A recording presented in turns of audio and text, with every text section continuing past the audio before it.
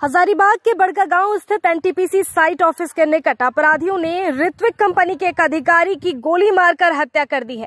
अधिकारी का नाम शरद बाबू है, जो हैदराबाद के रहने वाले हैं।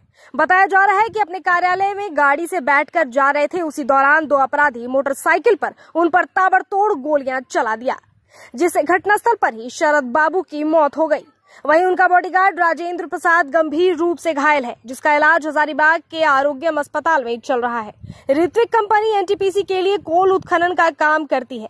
घटना के बारे में बताया जा रहा है कि अपराधी पीछे से पीछा करते हुए आ रहे थे और इसी दौरान दो मोटरसाइकिल सवार अपराधी पीछे से गोलियाँ चलाना शुरू कर दिए। बॉडीगार्ड गाड़ी के पीछे बैठे थे, जिन्हें और ऋत्विक कंपनी के अधिकारी आगे बैठे हुए थे और उन्हें भी गोली मार दी।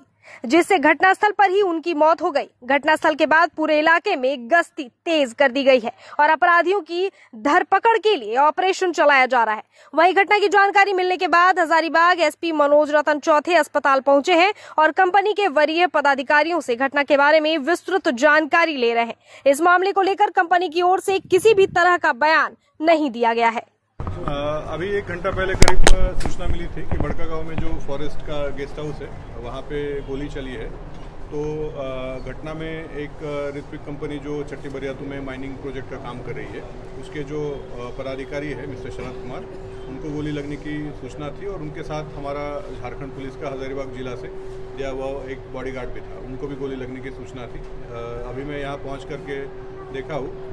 तो अनफॉर्चुनेटली जो शरद कुमार है उनको ब्रॉड डेड किया गया था उनका देहांत हो गया है।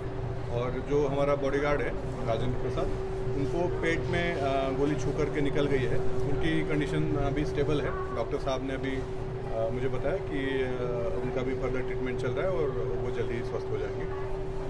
अपराधी कौन है? क्या लग रहा है सर? ये अभी इसके बारे में कमेंट करना उचित नहीं होगा क्योंकि अभी अन्य अभी जो चीज़ें हैं वो हम लोग इन्वेस्टिगेशन करेंगे और इन्वेस्टिगेशन के पश्चात ही कौन अपराधी है, कौन गुट है, किस वजह से फायरिंग हुई है, इन सभी चीज़ों का पता लगाना मुझे लगता है कि संभव हो पाएगा।